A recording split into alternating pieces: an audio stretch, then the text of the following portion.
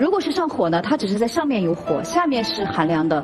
但是如果说它上下都有火的时候，一定会出现我们刚才说的，比如说小便发红啦，啊大便干燥啦，这些呢才是表示它是上下都有火。哦。但是不管怎么样说，不管是这两种情况，上火还是实火。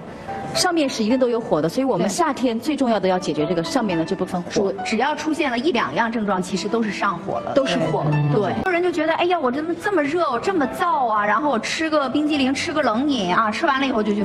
腹泻拉肚子去了，对，而且长此以往可能就肾虚啦，或者寒凉啦。像阿姨说的，她无冬立夏，这个膝盖都是凉的啦，腿凉，这样的情况是最难调理的。所以我们说湿火好治，湿火我们就一味的用寒凉去治它嘛，叫做热者寒之。但是这个上火只是上面有火，而下面有寒的情况，我们怎么办呢？嗯，必须是清上面的火，还要保护下面，不能让下面凉到。